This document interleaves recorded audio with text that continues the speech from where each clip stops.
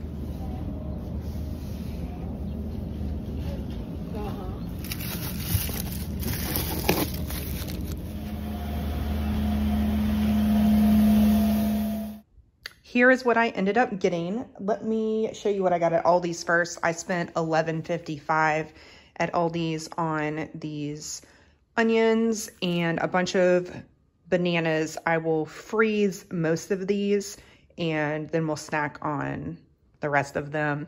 Two things of almond milk, mostly for the smoothies. And they only had these crackers.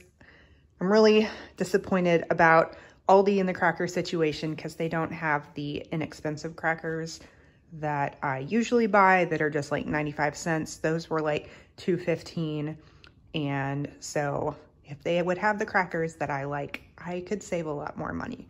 But I did get those because the kids really like crackers in their soup. So this is everything that I got at the local market. This produce was all on sale for just a dollar because it's about to go bad.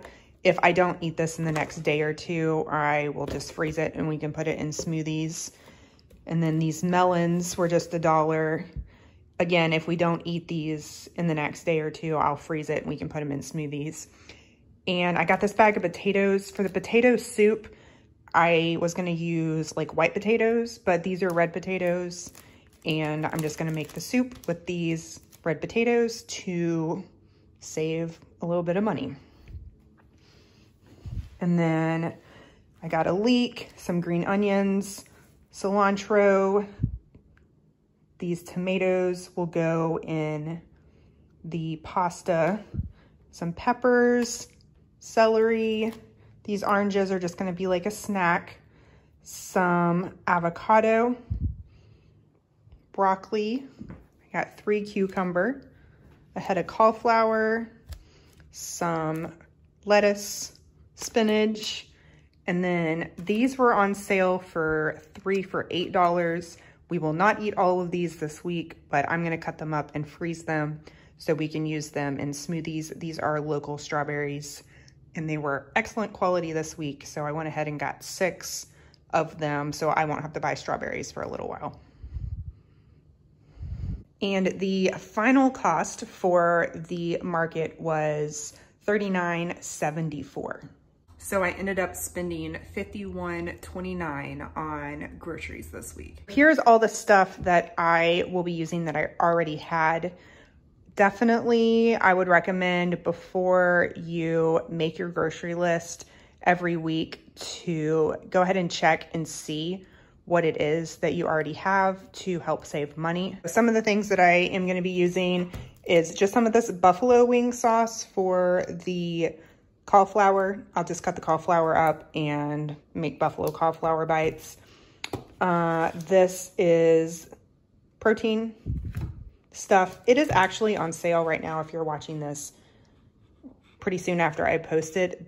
This one is only 19.98, I think. And usually they're like 33 to $45. So I'll link this down below, but if you like chocolate protein powder. It's just this exact chocolate protein and greens one. Uh, I would maybe, now would be a good time to try it. Flax seeds, nutritional yeast, all these spices.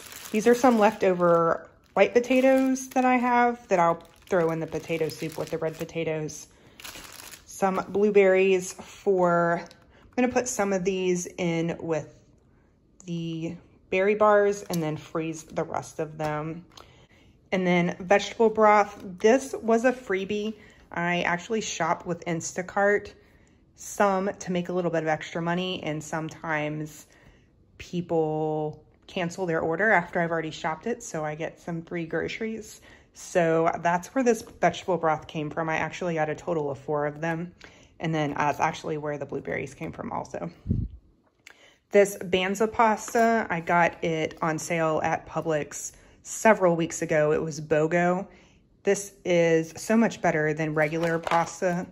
It has a lot more protein and definitely don't feel guilty about eating this type of pasta. I've had these peanuts forever, so I'm gonna use them as the nuts for the oatmeal bars and then oatmeal. I got this at Publix a long time ago as a BOGO deal also. So I'm gonna put a lot of this stuff away and then get busy meal prepping.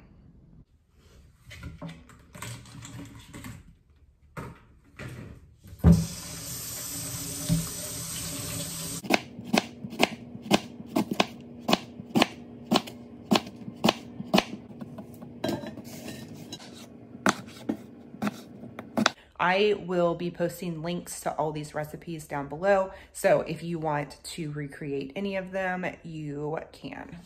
So all the food is done. Let me kind of show you everything. These are the oat and berry bars. I tried some and they're very good. Uh, the kids will eat these for breakfast along with a piece of fruit of some sort. My husband and I will most days have a protein smoothie instead of the berry bars and we'll just put a scoop of this protein powder, some flax seeds, and then some frozen fruit, banana, strawberries, blueberries, some sort of mixture of fruit. This is the potato soup. It turned out really well. It says to use an immersion blender to blend it up when you get done, but I don't have one, so I just mashed it with a potato masher, and that worked just fine. Uh, and we'll eat that with some crackers and nutritional yeast.